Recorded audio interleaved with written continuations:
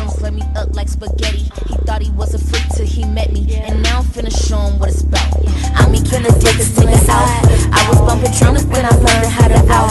I was scared of the dick till I heard it out. And listening to notes till I let them make